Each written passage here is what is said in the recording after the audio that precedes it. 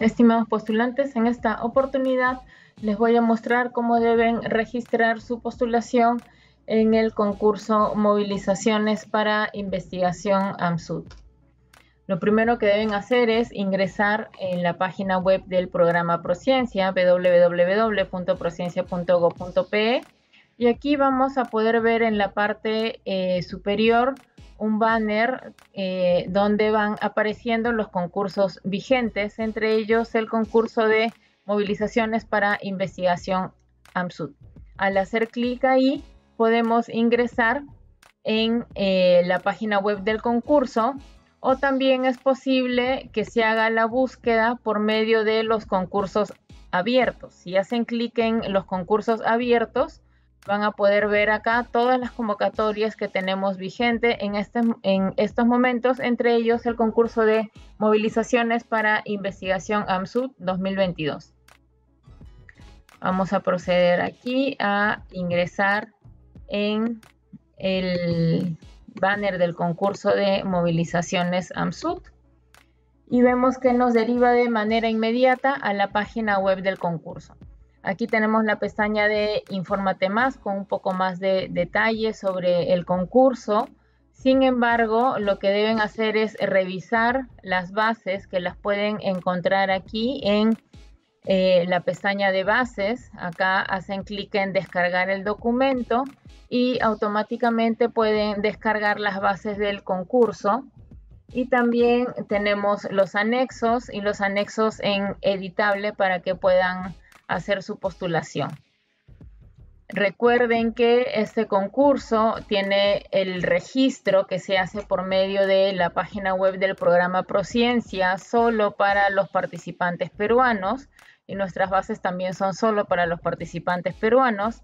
Y si ustedes desean tener más información sobre cada uno de los programas, pueden hacer clic en el enlace que tenemos ahí de eh, el cual nos deriva de manera inmediata a la página web de los programas AMSUD y aquí pueden ver más información de cada uno de los programas. Nos indica qué es, cuáles son los objetivos, ¿no? de Climate, que es el de variabilidad climática y cambio climático, MAT, que corresponde a la temática de las matemáticas, y STIC o TICS, que corresponde a la temática de las tecnologías de información y comunicación.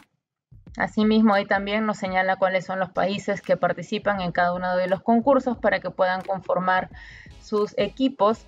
Y recuerden que la postulación la debe hacer el coordinador internacional designado en la plataforma del ANI de Chile este registro, eh, esta postulación la deben hacer antes de hacer el registro en la página web del programa Prociencia, ya que van a tener que subir ahí la propuesta que ha sido registrada en el ANIT de Chile en formato PDF. Y aquí podemos encontrar el concurso de programas regionales STIC, MATAM Sud y Climate Sud del año 2022. Hacemos clic ahí y por medio de esta página se puede hacer la postulación. ¿no? Eh, vamos a volver aquí a la página del programa Prociencia y tenemos finalmente en la tercera pestaña la pestaña de la postulación que nos indica el cronograma del concurso y en el cual también podemos eh, ingresar en la plataforma de postulación.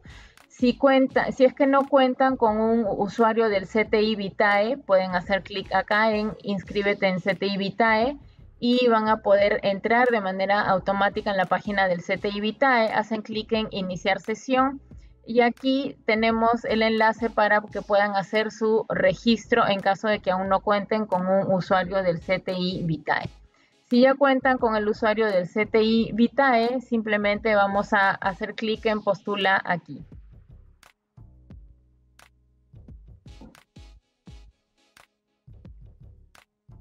Y vemos que eh, nos lleva a la página de inicio de la postulación para poder ingresar en la plataforma de postulación del concurso Movilizaciones para Investigación AMSUD E070 2022-01.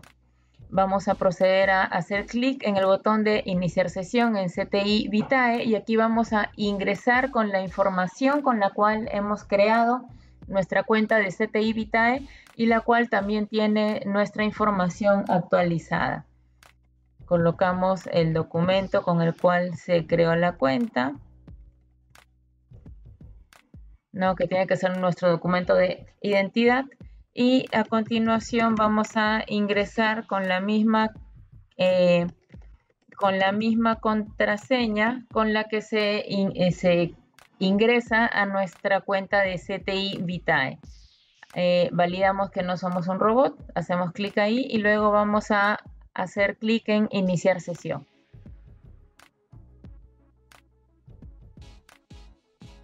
En este caso, eh, ya hemos avanzado un poquito con algunos campos de la postulación.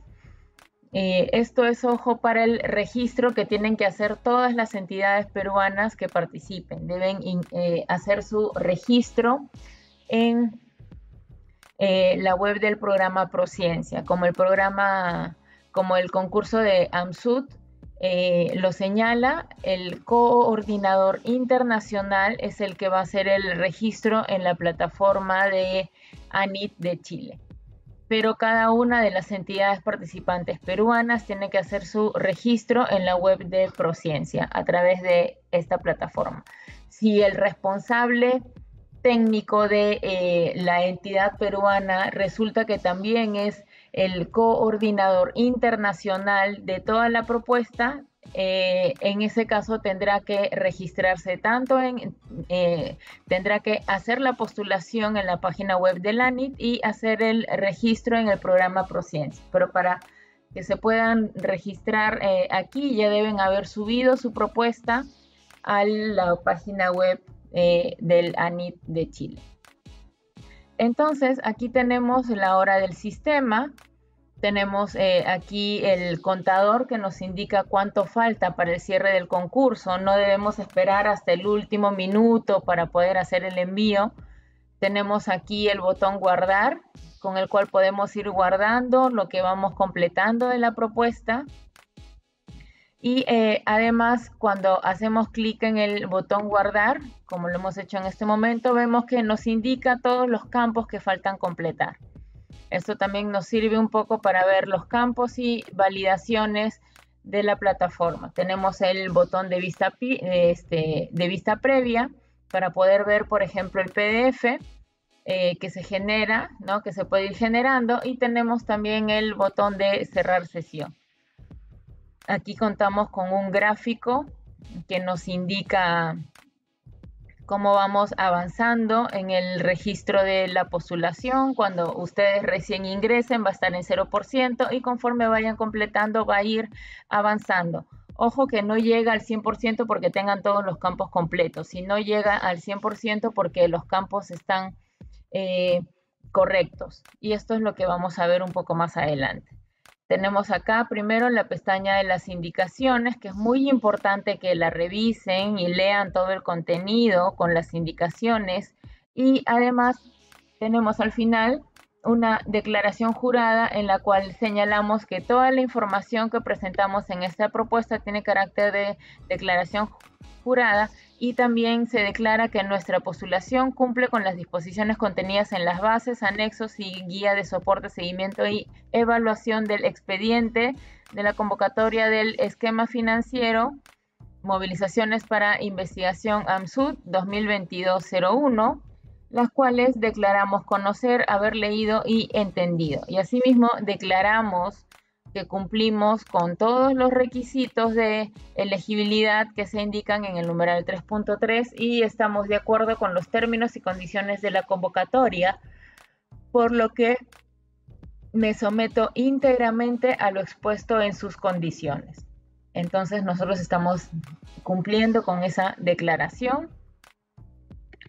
Y aquí vamos a colocar la información de la entidad vinculada a la que eh, el equipo de investigadores eh, que está participando, ¿no?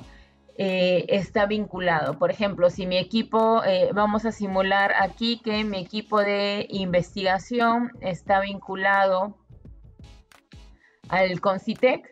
Entonces vamos a colocar aquí el RUC del Concitec, vamos a colocar la dependencia, por ejemplo, eh, vamos a colocar el laboratorio de cambio climático. Esto es un ejemplo, todo lo que estamos colocando en este momento. Vamos a colocar acá que somos un organismo gubernamental y vamos a suponer que eh, tenemos eh, el domicilio fiscal en Chavinillo, en Yarohuilca, Huánuco. Y la plataforma también nos pregunta si hay otra entidad peruana que participará en esta propuesta. Si es que sí tenemos otra entidad que también esté participando en la propuesta, eh, nos recuerda que el responsable técnico de cada entidad peruana debe registrar su postulación. En este eh, lo dejamos en sí y a continuación vamos a proceder a la información del equipo. Todos estos cambios en grises, ¿no? en color gris, son extraídos de manera automática del CTI Vitae. Por ello es importante que eh, ustedes tengan la información actualizada en el CTI Vitae. Entonces se jalan esos datos, vamos a colocar el teléfono celular, ¿no? Eh, nuestro domicilio actual, ¿no? El del responsable técnico, el departamento, la provincia. Nos pregunta eh, asimismo si también vamos a tener el rol de coordinador internacional en la propuesta. Si es sí, colocamos que sí, como les mencioné. Si es no, se queda simplemente ahí.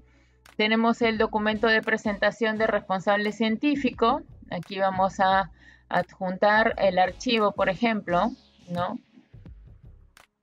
Ustedes buscan cuál es el que les corresponde y acá nos pide que se ingrese la información del equipo de investigación, porque como se ha mencionado es un equipo el que se presenta. Entonces eh, sabemos que tienen que estar vinculados al CTI Vitae.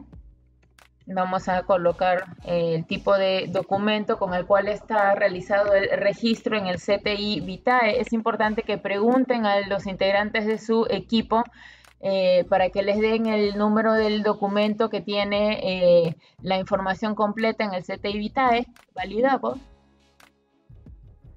Vemos que jala los datos. Vamos a colocar, por ejemplo, eh, un número de teléfono al azar y eh, nos pregunta también la plataforma si es joven científico en el sentido si es un estudiante doctoral, un postdoc o no aplica. Si de repente es alguien de mayor rango, vamos a colocar en este caso no aplica. Y hacemos clic en guardar y vemos que automáticamente ingresó sus datos aquí. Aquí pueden continuar colocando a todos los integrantes del equipo. ¿no? Y eh, tenemos después la pestaña de la propuesta vemos cómo va avanzando el reloj, eh, el gráfico que nos indica el avance de la postulación. Aquí vamos a indicar a cuál de los programas regionales estamos postulando, si al de STICAM Sud, ¿no? que es el de TICS, el de Tecnologías de la Información y Comunicación.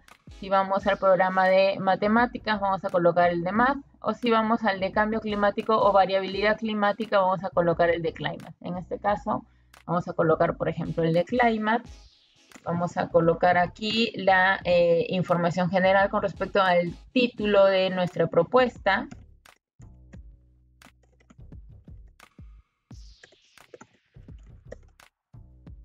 En este caso vamos a colocar, por ejemplo, una propuesta de postulación variabilidad eh, climática. Vamos a colocar el acrónimo de nuestra propuesta.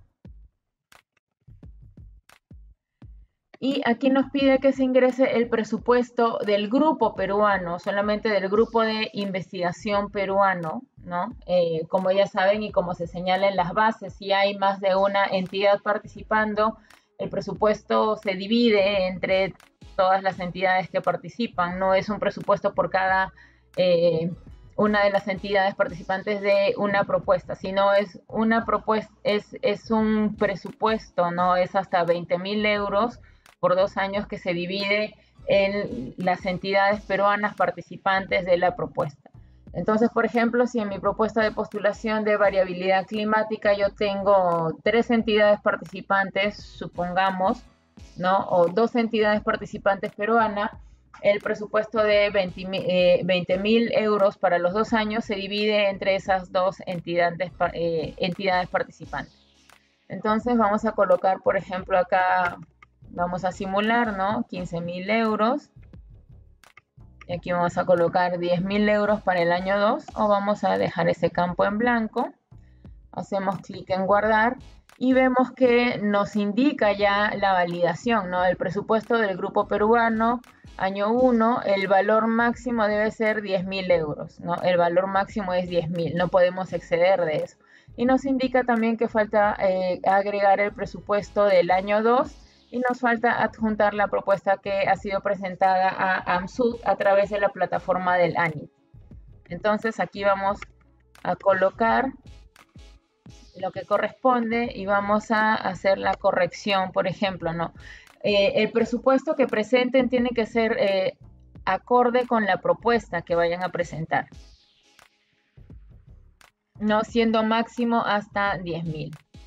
De repente en el año 2 voy a necesitar 7000 euros, en el año 1 9000.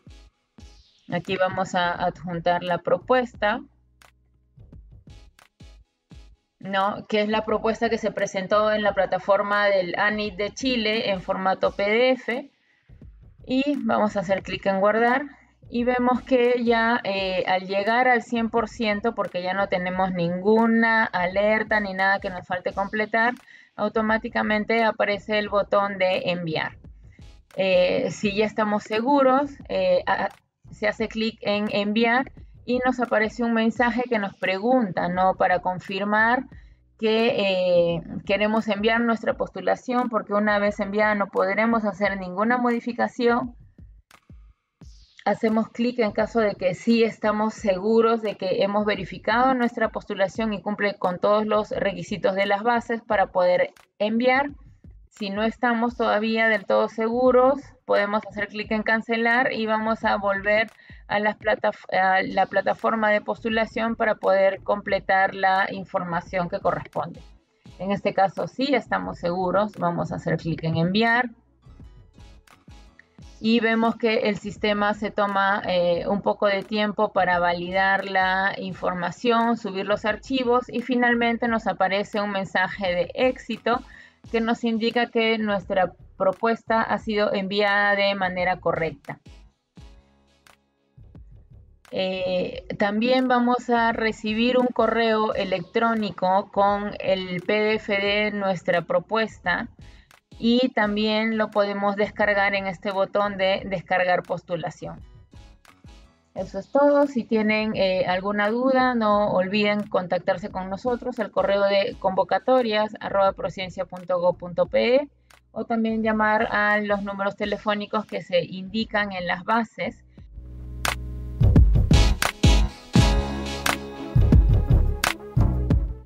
Siempre con el pueblo. Gobierno del Perú.